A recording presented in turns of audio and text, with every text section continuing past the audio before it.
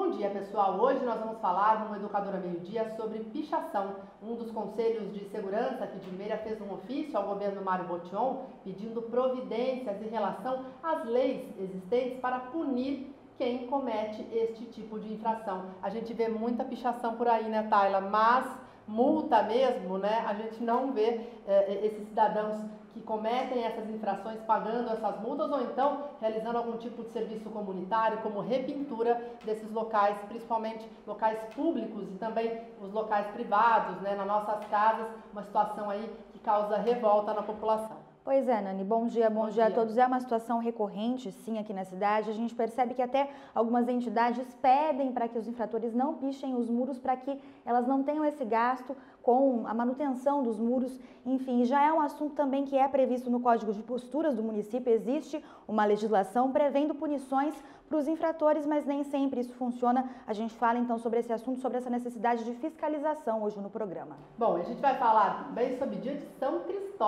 isso mesmo. A paróquia aqui de Limeira está em festa, com celebrações durante todo o dia e todo mundo aproveitando para levar a chavinha do veículo para uma bênção, porque ele é aí o, o, o santo dos motoristas, né? Exato, protetor de motoristas, de caminhoneiros, enfim, de todos Exato. que trabalham nessa área. E existe inclusive uma programação especial de missas hoje na paróquia São Cristóvão. A gente também traz os detalhes daqui a pouco. É, tem muitas informações de serviços, principalmente em relação ao FGTS das contas inativas. Exato, essa é a última semana para quem ainda não sacou o FGTS das contas inativas, independente da data de aniversário. O prazo termina na sexta-feira e na quinta-feira começa o saque do abono salarial para quem faz aniversário em julho. Então, todo mundo precisa ficar atento a esses prazos que terminam nesta semana. Daqui a pouquinho, gente. Até lá.